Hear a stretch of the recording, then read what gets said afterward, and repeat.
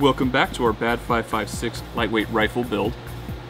In the last part we showed you how to install the ejection port cover on the upper receiver and you need to do that before you install the barrel. But the very first thing that we want to do before installing the barrel itself is we want to check the headspace. And the headspace is how your bolt face interfaces with a cartridge in the chamber once it's completely locked and closed. And this is critical.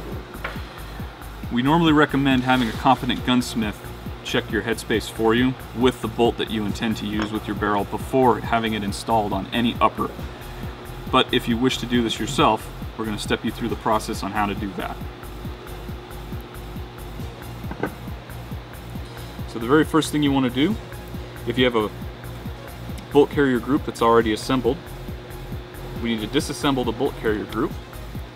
You can do that by either using one of the small Allen keys provided with your lower receiver or a pair of needle nose pliers. Just remove the firing pin, retaining pin, and that'll drop out the firing pin.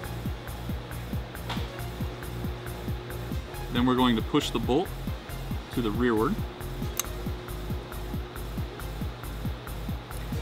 And then on top, this is the cam pin. We need to rotate this so that it's in line with the gas key.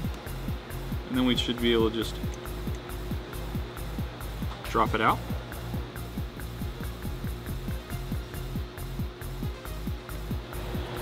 Once the cam pin is out, we can go ahead and remove the bolt from the carrier. We can set the carrier to the side. The last thing we need to do is we need to remove the extractor claw from the bolt. In order to do that, there's one pin that just runs from one side to the other. To do that, we're going to use a 3 30 seconds punch.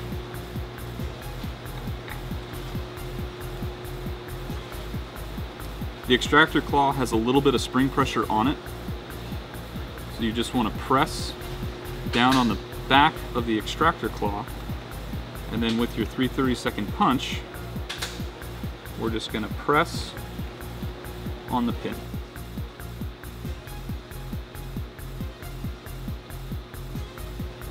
The pin will pop out and the punch will go through and it'll still be holding the extractor claw in place. Go ahead and set the pin to the side and then slowly remove your punch.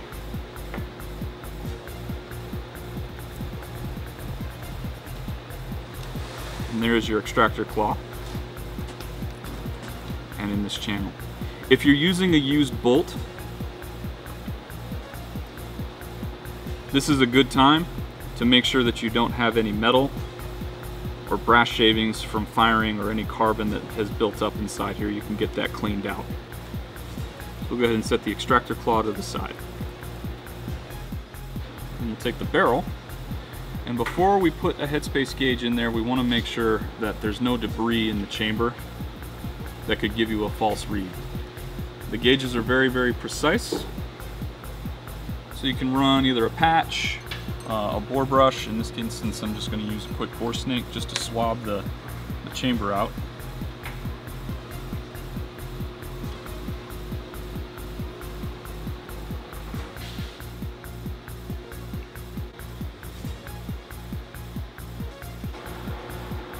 Once we're sure we have no debris left over inside the chamber, then want to actually check the headspace. In this instance, we left the extractor plunger in, so there's still going to be a little bit of spring pressure on there, but that's okay. We can use a punch to rotate the bolt. So what we're going to do, we'll take our headspace gauge. When we check them at the factory, we try to keep them within a 1.4656 to a 1.4666. So we're going to take our 1.4656 gauge and we're going to drop it into the barrel. Then take the bolt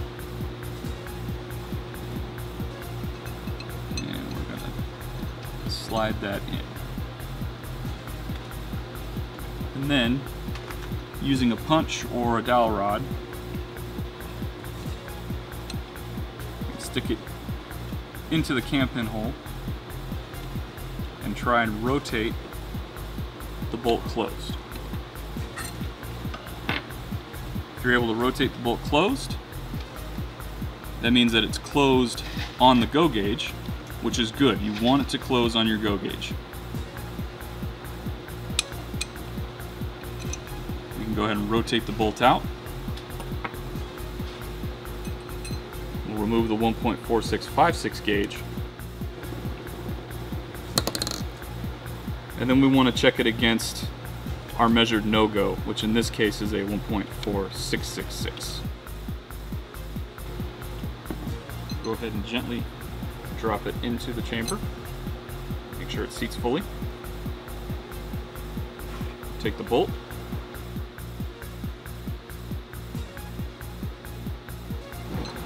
Lower it in. And then we take our punch, press against the extractor plunger, and then try to close the bolt. If it doesn't close, that means that the barrel is good to go with the bolt that you intend to use. There are multiple different manufacturers of headspace gauges. Each of them have their own tolerances. If you do wind up having a bolt close on a no-go gauge, this could be for a couple of different reasons. Different manufacturers of bolts have different tolerances. Different manufacturers of barrels and barrel extensions have different tolerances. So there's always going to be a slight variance in between. The one thing you never want to have, even if it was to close on this 4666 gauge, that's still good, even up to a 4676. On an AR-15 platform, you never want to have your bolt close on a 1.4696 gauge. That is considered field and that's considered to be out of spec and unsafe to use. But anything below that is still safe. So in this instance, in this instance with this bolt that we're using for this barrel, it matches the headspace that we've tested at the factory.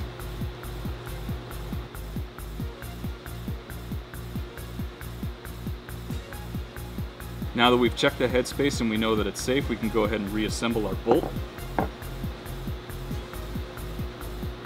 So we'll take our bolt and the extractor claw, put those back together. Go ahead and press down against the spring and take the extractor claw pin.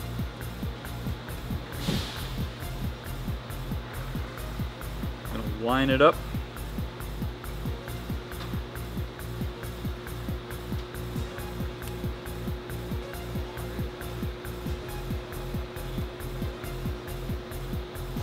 and as you're pressing on the extractor claw, you should be able to just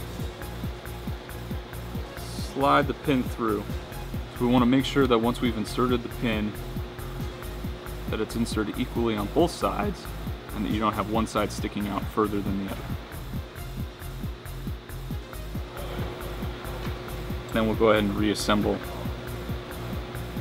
the bolt.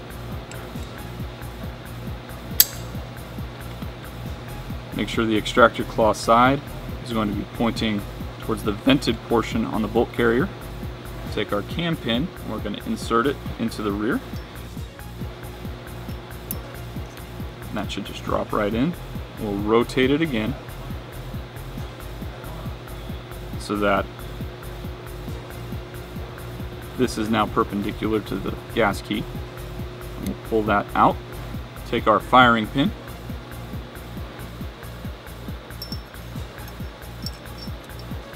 should just fall right in the back of the receiver. And then we just take the firing pin retaining pin and we insert it back on that side.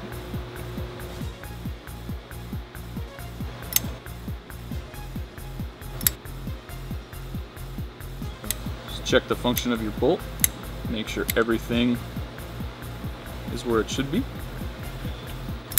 And you can check the protrusion of the firing pin the bolt in the locked position, so that's with it all the way back. And then you'll just press against the firing pin to see if it pops through in the middle. If it doesn't, you may have issues with light strikes on your primer or misfires. That completes checking our headspace and reassembly of our bolt. Join us in the next video and I'll show you how to install your barrel on the upper receiver.